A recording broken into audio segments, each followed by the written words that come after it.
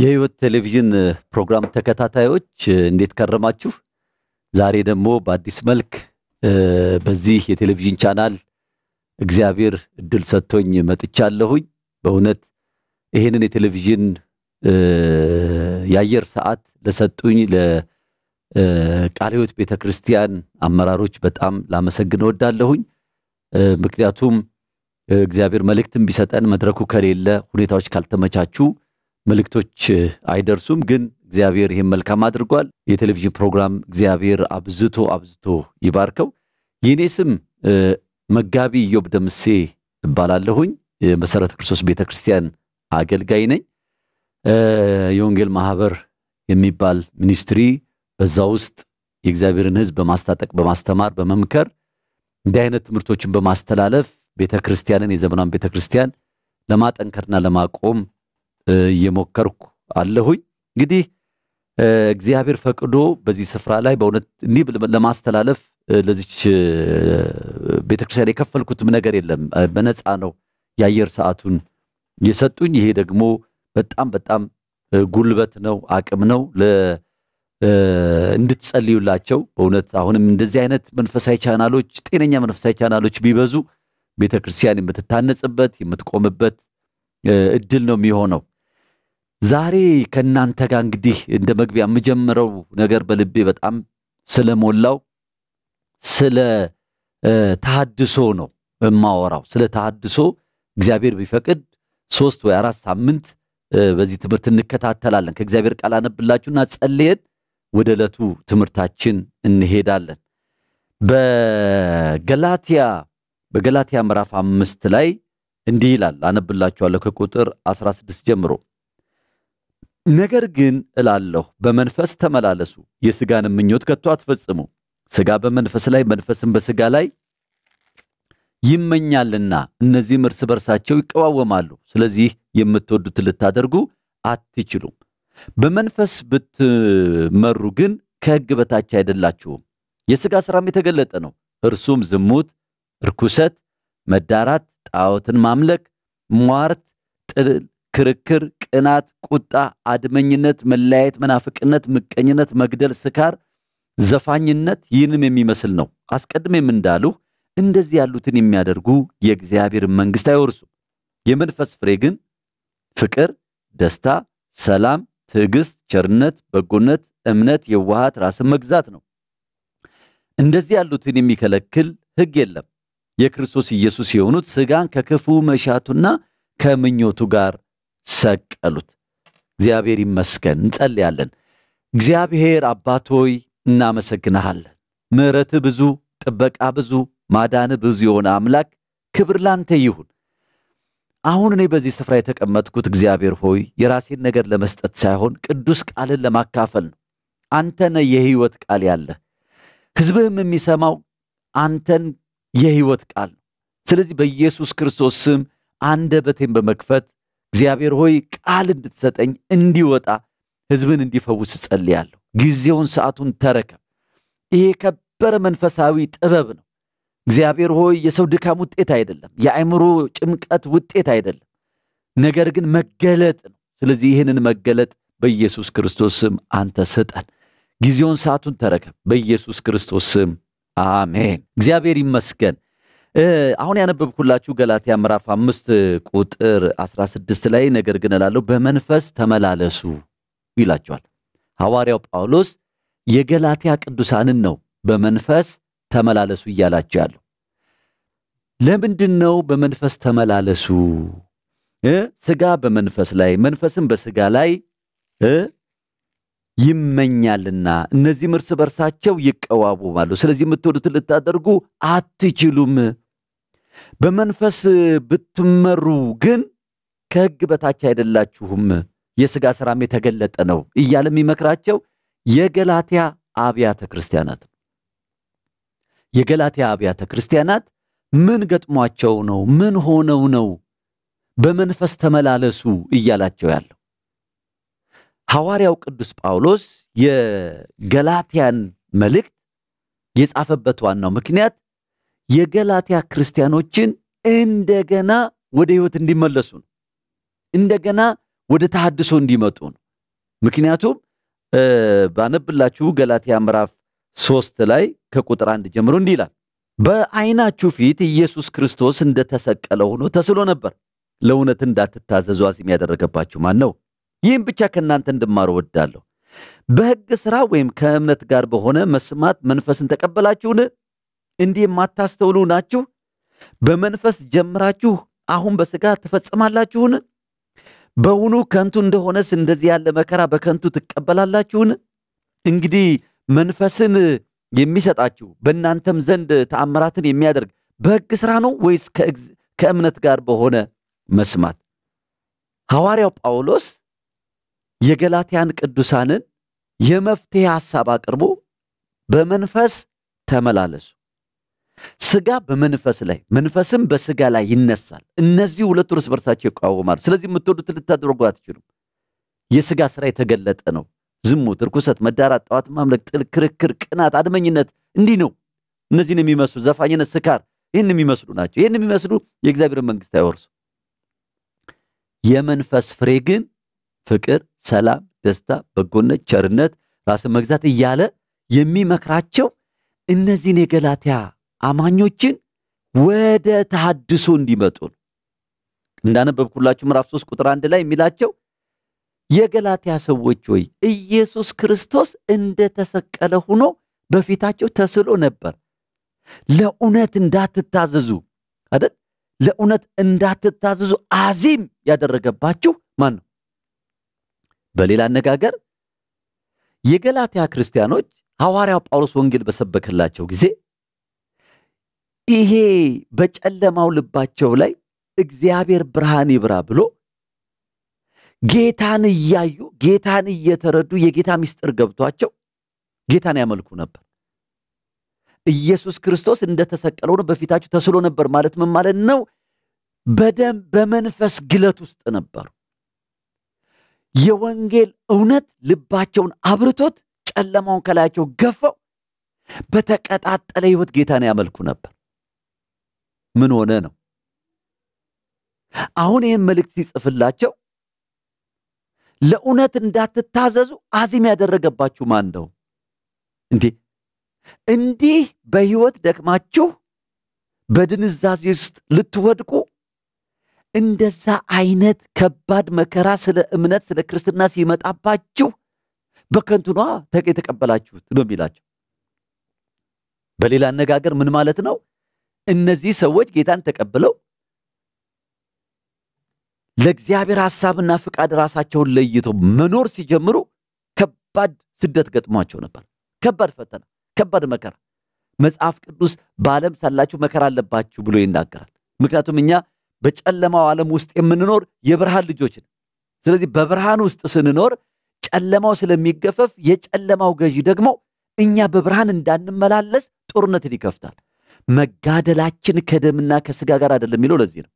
ስለዚህ ከባድ የሆነ ስደት ነበረባቸው፣ ፈተና ነበረባቸው፣ መከራ ነበረባቸው።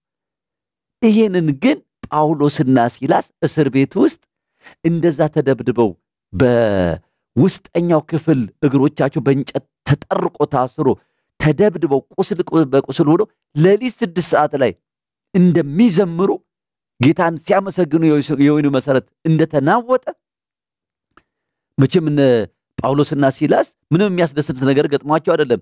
የእግዚአብሔር መንግሥት ጽድቅና ሰላም በመንፈስ ቅዱስ የሆነ ደስታ እንጂ መብልና መጠጥ አይደለም እንደሚል እንዲሁ በስጋ ስታዩት ተደብድበው መከራ ተቀብለው ነው። ግን በመንፈስ ቅዱስ የሆነ የልብ ደስታ ውስጣቸው ስለፈሰሰ ሌሊት ላይ ይዘምሩ ነበር ጳውሎስና ሲላስ።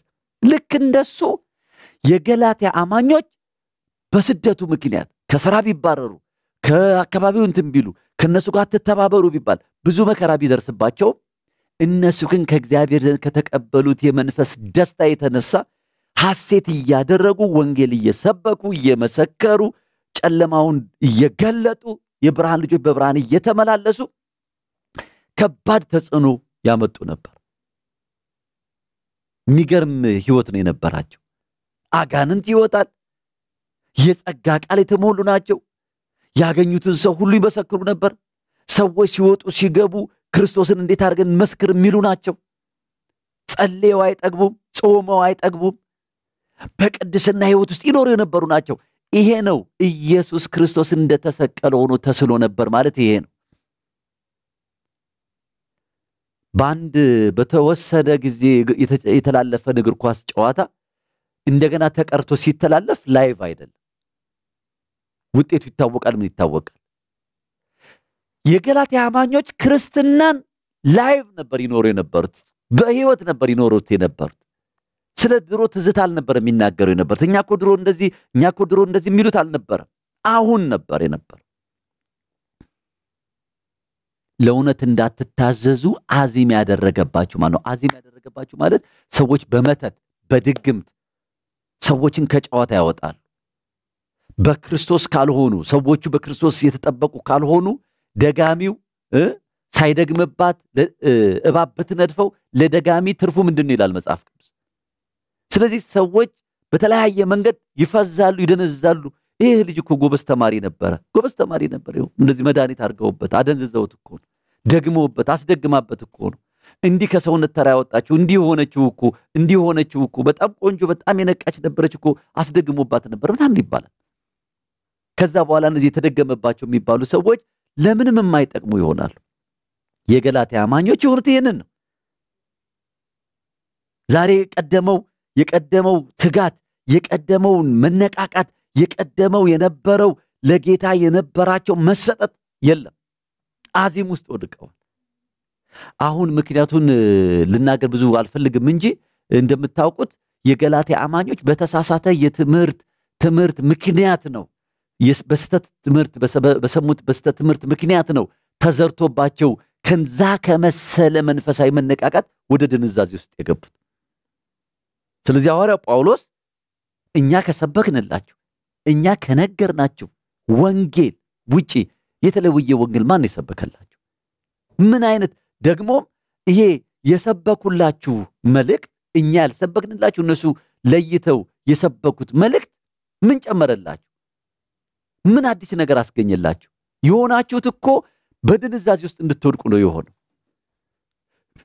እንደውም ምዕራፍ አንድ ላይ ይናገር የተለ ከዚህ ከተሰበከው ወንጌል ውጭ የተለየ ወንጌል የሚሰብክ የተረገመ ይሁን እንደሚል ይራገማል፣ ይቆጣሉ።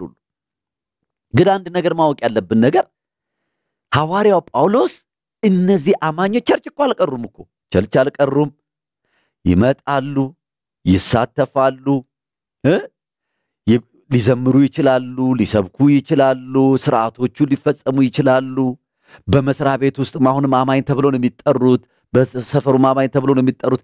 ግን መንፈሳዊ አቅም፣ መንፈሳዊ ጉልበት ከውስጣቸው ተወስዶ ነበር። ከአንድ ከማያምን ሰው ህይወት የተለየ ህይወት አልነበራቸው። ስለዚህ ሐዋርያው ጳውሎስ እንዲህ አለ፣ ለእውነት እንዳትታዘዙ አዚም ያደረገባችሁ ማን ነው? አሁን እንደገና ኢየሱስ ክርስቶስ እንደገና ቁጥር አራት ላይ ያነበብኩላችሁ አራት አስራ ዘጠኝ ላይ ልጆቼ ሆይ ክርስቶስ በእናንተ እስኪሳል ድረስ ዳግመኛ ስለ እናንተ ምጥ ይዞኛል ይላል። ክርስቶስ በእናንተ እስኪሳል ድረስ ትናንትና በደንብ ነበር ክርስቶስን ታዩ የነበሩት። አሁን ጠፍቶባችሁ በሱ ምትክ ሌላ ነገር ውስጥ ነው የገባችሁ። ይሄ ጌታ አሁንም በእናንተ ፊት እንደገና እስኪሳል ድረስ እርጉዝ ልትወልድ እንደምታምጥ እንደሚሰማት ስሜት እንዲሁ ምጥ ይዞኛል ብሎ ይላል። ስለዚህ ቅድም እንደነገርኳችሁ ታድሶ ማለት መነቃቃት ማለት አይደለም። ታድሶ ማለት አንድ ጊዜ ቡን ብሎ የሚጠፋ ነገር ማለት አይደለም። ታድሶ ማለት ትናንትና ክርስቶስን አይተን ክርስቶስን ክርስቶስ በፊታችን ተስሎ በሕያውነት ስናመልከው የነበነ ወደ ነበረው ሕይወት መመለስ ማለት እንጂ የአንድ ሰሞን መነቃቀት አንድ ነቢይ መጥቶ አንድ አገልጋይ መጥቶ አንድ አስተማሪ መጥቶ ወይም ደግሞ በሆነ ፕሮግራም ለሶስት ቀንና ለስድስት ቀን ወይ ለሳምንት የሚደረግ መነቃቃት አይደለም። ታድሶ ማለት ወደ መንፈስ በመንፈስ ወደ መመላለስ ውስጥ መመለስ ማለት ነው። እነዚህ የደከሙና የዛሉትን እነዚህን አማኞች ሐዋርያው ጳውሎስ እንደ መፍትሄ የሚነግራቸው ነገር ምንድን ነው? ይኸው ነገርኳችሁ። እንደውም ከቁጥር 12 ልናነብ እንችላለን። ወንድሞች ሆይ እናንተ እናንተ ለአርነት ተጠርታችኋል ተጠርታችኋልና ብቻ አርነታችሁ ለሥጋ ምክንያትን አይስጥ፣ ነገር ግን በፍቅር እርስ በርሳችሁ እንደ ባሪያዎች ሁኑ። ሕግ ሁሉ በአንድ ቃል ይፈጸማልና እርሱም ባልንጀራ እንደ ራስ ውደድ የሚል ነው። ነገር ግን እርስ በርሳችሁ ብትነካከሱና ብትበላሉ እርስ በርሳችሁ እንዳትጠፋፉ ተጠንቀቁ። ቁጥር 16 ላይ ነገር ግን እላለሁ በመንፈስ ተመላለሱ፣ የሥጋንም ምኞት ከቶ አትፈጽሙ። ሰዎች የሆኑት ነገር ምንድን ነው? ትናንትና ጤነኛ ወንጌል በሰሙ ጊዜ እነ ጳውሎስ ባስተማሯቸው ጊዜ በነገሯቸው ጊዜ እነዚህ ሰዎች በመንፈስ ነው መመላለስ የጀመሩት። መንፈስ ቅዱስን ተሞልተው በመንፈስ ቅዱስ ተነቃቅተው መንፈስ ቅዱስ ሕይወታቸው ገዝቶት ነው ያን ሁሉ ሕይወት ያሳለፉት። አሁን ከዛ መንፈስ ወጥተው ነው በሥጋ መኖር የጀመሩት። ስለዚህ መፍትሄው ይሄ ነው ማለት ነው። የተሃድሶ የተሃድሶ ቁልፉ ነገር ቁልፉ ነገር በመንፈስ መመላለስ ነው። ምንድን ነው በመንፈስ መመላለስ? ምንድን ነው በመንፈስ መመላለስ? ይህን ነው ማወቅ ያለብን። ይሄው ሐዋርያው ጳውሎስ በመንፈስ ስለመመላለስ ሲናገር ሮሜ ላይ ላንብበላችሁ። ሮሜ ምዕራፍ 8 ቁጥር ዘጠኝ ላይ እናንተ ግን የእግዚአብሔር መንፈስ በእናንተ ዘንድ ቢኖር በመንፈስ እንጂ በሥጋ አይደላችሁም። የክርስቶስ መንፈስ የሌለው ከሆነ ግን ይኸው የእርሱ የእርሱ ወገን አይደለም። ክርስቶስ በእናንተ ውስጥ ቢሆን ሰውነታችሁ በኃጢአት ምክንያት የሞተ ነው፣ መንፈሳችሁ ግን በጽድቅ ምክንያት ሕያው ነው። የሚገርም ነገር ነው። ምንድን ነው የሚላቸው ጳውሎስ? እናንተ ግን የእግዚአብሔር መንፈስ በእናንተ ዘንድ ቢኖር በመንፈስ በመንፈስ እንጂ በሥጋ አይደላችሁም፣ በመንፈስ ናችሁ። አሁን እያልኩ ያለሁት ምንድን ነው? የተሃድሶ ለተሃድሶ የሚያበቃን መሰረታዊ ነገር ምንድን ነው ከተባለ በመንፈስ መመላለስ። በመንፈስ መመላለስ ምን ማለት ነው ካልን ደግሞ ይኸው ሮሜ ምዕራፍ 8 ቁጥር 9 ላይ ሳነብላችሁ ምን ይላል? የእግዚአብሔር መንፈስ በእናንተ ቢሆን በመንፈስ ናችሁ። አንዳንድ ሰዎች ይህንን በትክክለኛው መንገድ ባለመረዳት እኔ ምግብ ልበላ ስል ከቀይው ልጀምር ካልጫው ልጀምር ብዬ ጌታን እጠይቃለሁ ይላል። አሁን እነዚህ ሰዎች በመንፈስ ነኝ ለማለት ነው። ስራመድ በቀኝ እግሬ ልራመድ በግራ እግሬ ልራመድ ብዬ ጠይቄ ነው እኔ ጌታን እያንዳንዷን ጥቅቅ ነገር ጌታን እየጠየቅኩ ነው የማደርገው ብለው ይላሉ። በሌላ አነጋገር መንፈሳዊ ነኝ፣ መንፈስ ቅዱስ ይመራኛል ለማለት ነው። ግን ስህተት ነው፣ ትክክል አይደለም። አዎ መንፈስ ቅዱስ ይመራል። መንፈስ ቅዱስ ይሄን አድርግ ይሄን አታድርግ ብሎ ይናገራል። ወደ እውነት ሁሉ ይመራል ይላል መጽሐፍ ቅዱስ ሲናገር። መንፈስ ቅዱስ የሚመራን ከኛ ለተሰወረ የእሱን ምሪት የእሱ እርዳታ ለሚያስፈልገን ነገር እንጂ ምግብ ቀርቦ ካልጫና ከቀይ ወጡ ከየትኛው መብላት እንደምንጀምር መንፈስ ቅዱስ ይመራኛል የምንል ከሆነ ሌላ ችግር ውስጥ ነው ያለነው። ጠዋት ተነስተን እግዚአብሔርን አመስገን ተራምድን እንዳንሄድ በግራ ልራመድ በቀኝ ልራመድ ብለን አጉል መንፈሳዊ የሚመስል ነገር የምናደርግ ነገር ከሆነ አሁንም አደገኛ አደገኛ አደገኛ መንፈሳዊ ቀውስ ውስጥ እየገባን ያለን። ለተገለጠ ነገር መገለጥ አያስፈልግም። ለተገለጠ ነገር መገለጥ ምሪት መፈለግ ለሚገባን ነገር ወደ ምሬት ውስጥ ነው የምንገባው። አንድ አማኝ እማያምንን እማያምንን ሴት ለማግባት ጌታ እስቲ ይናገረኝ፣ ጌታ ተናግሮኝ ነው፣ እስቲ ጌታን ልጸልይ። የጌታ ስራ አሰራሩ ልዩ ልዩ ነው። ምናልባት ወደ ጌታ እኮ ሊያመጣት ይችላል።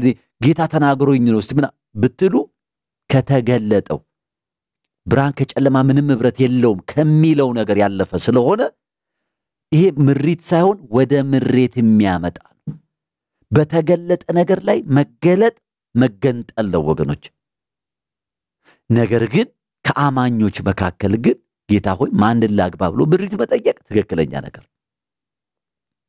ስለዚህ መንፈስ ቅዱስ በሰዎች ሕይወት ውስጥ በተመስጦ በመምጣት ምሪት የሚሰጠው ነገር አለ።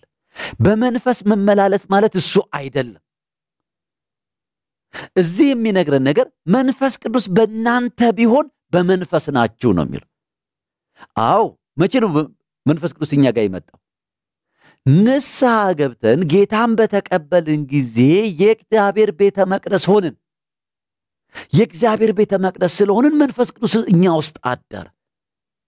ስለዚህ በትክክለኛው መንገድ ጤነኛ ወንጌል ሰምቶ ጌታን የተቀበለ ሰው በሙሉ የእግዚአብሔር መንፈስ አለበት።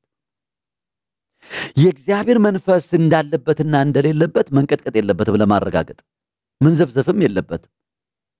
የተሆነ መወራጨትም የለበትም። ጻድቅ በእምነት በሕይወት ይኖራል ይላል። ውስጣችን የእግዚአብሔር መንፈስ አድሯል። በፍሬው እናየዋል። ያ መንፈስ በእናንተ ውስጥ ስለሚኖር እናንተ ታውቁታላችሁ ተብሎ ስለተጻፈ ያ የእግዚአብሔር መንፈስ ያደረበት ሰው መንፈስ ቅዱስ በውስጡ ሲሰራ፣ ሲያደርግ፣ ሲያከናውን ያውቀዋል። ለፍጥረታዊ ሰው ግን የእግዚአብሔር መንፈስ ነገር ሞኝነት ነው፣ ሊያውቀው አይችልም።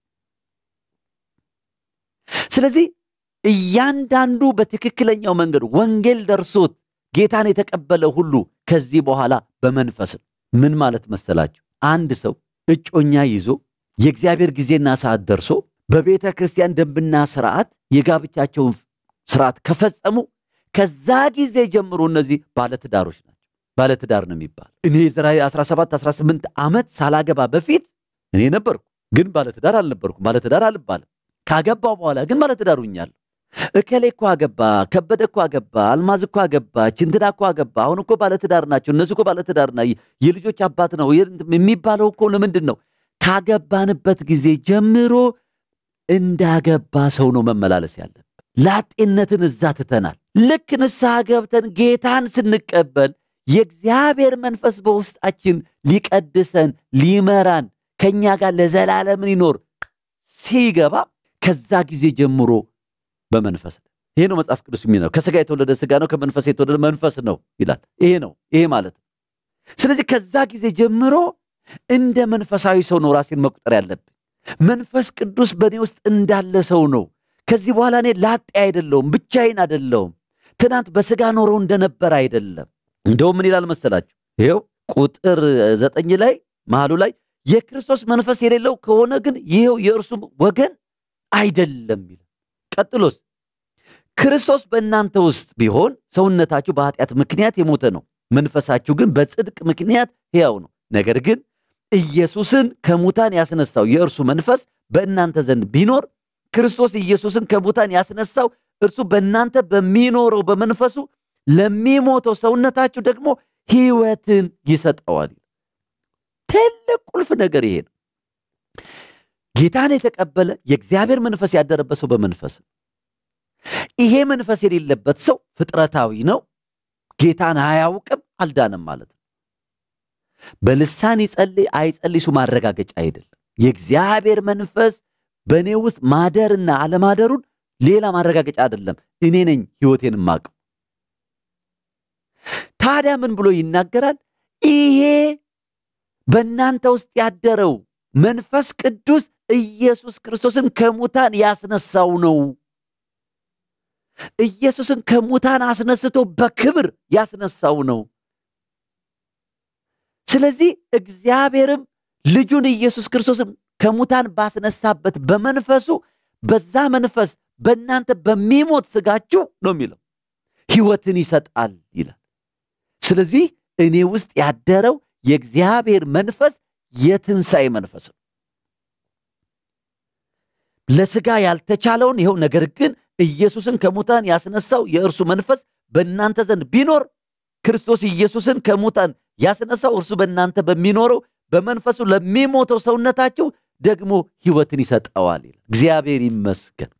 ትናንትና በራሴ ልኖረው ያልቻልኩትን መንፈሳዊነት ልፈጽመው ያላደረግኩትን ሙከራ ሁሉ ፉርሽ የሆነበት ምክንያቱም በስጋ የሚዘራ መበስበስን ያጭዳል ይላል መጽሐፍ ቅዱስ። አያችሁ፣ እነዛ አስርቱ ትእዛዛት ተሰጥቶ አትስረቅ፣ አትቅጠፍ፣ አታመንዝር የሚለው ሕግ እኮ ፍጹም ነው፣ ቅዱስ ነው። ግን እኮ ያን ለመፈጸም ተነስቼ አልቻልኩም። ለምን? በኃጢአት የተበከለ ማንነት ስለነበረኝ። ስጋችን የእግዚአብሔርን ሕግ በመፈጸም መጽደቅ ስለማይችል፣ ስለዚህ እግዚአብሔር ያደረገው ነገር ምንድን ነው? ስጋ ለእግዚአብሔር ክብር መገዛት ተስኖታል። የክርስቶስ ኢየሱስ የሆኑት ስጋን ከክፉ መሻቱ ጋር ሰቀሉት ይላል። እንግዲህ እኔ ወደ ጌታ ስመጣና ጌታን ኢየሱስ ክርስቶስን የሕይወት አዳኝ አድርጌ ስቀበል፣ በሌላ አነጋገር ማለት ነው እኔ በራሴ መንፈሳዊ ሕይወት ልኖር አልችልም። በራሴ በጽድቅ ልመላለስ አልችልም። ስለዚህ እኔ በአንተ ውስጥ ነው መሆነው። አንተ በእኔ ውስጡን ለሚሞት ስጋዬ ሕይወትን ስጠው ማለት አያችሁ። እግዚአብሔር በመንፈሱ ለሚሞት ስጋችን ሕይወትን ይሰጣል። በሌላ አነጋገር ማለት ምንድን ነው? ኢየሱስ ክርስቶስ ከመሞቱ በፊት እንዴት እንደተመላለሰ ተመልከቱት። በብዙ ድካም ነው የተመላለሰው። በኃጢአት ቢፈተን ምንም ኃጢአት ባያደርግ፣ ነገር ግን በቀላሉ የሚተፋበት በቀላሉ የሚጠላ በብዙ አይነት መንገድ ውስጥ ሆኖ ያለፈው። ከሙታን ከተነሳስ በኋላ በክብር ነው የተነሳው። እኛም ይሄ የክርስቶስ መንፈስ በእኛ ውስጥ ያደረው የእግዚአብሔር መንፈስ የትንሣኤ መንፈስ ለሚሞት ስጋችን ሕይወትን ምን ያደርጋል? ይሰጣል። ስለዚህ መንፈስ ቅዱስ በእኔ ውስጥ የጽድቅን ሕይወት የጽድቅን ፍሬ ማፍራት ይጀምራል ማለት ነው። ያ ነው አማኞች የገላትያ አማኞች ችግር ውስጥ የገቡት። ንስሐ ገብተው ወደ ጌታ ሲመጡ መንፈስ ቅዱስ በእነሱ ውስጥ አድሮ የመንፈስ ፍሬ እንዲያፈሩ አድርጓቸው ነበር ለብዙ የሚተርፍ ነገር ግን ባለማወቅ ምክንያት ከዚህ መንፈስ ሲጎሉ ግን እነሱ በስጋቸው ራሳቸው ተገለጡ። ለድንዛዜና ለአዚም ውስጥ እንዲወድቁ አድርጓቸዋል። ስለዚህ ወደዚህ መመለስ ታድሶ ማለት ይሄ ነው። የሚቀጥለው ሳምንት እቀጥልላችኋለሁ። ጌታ አብዝቶ ይባርካችሁ። አሜን።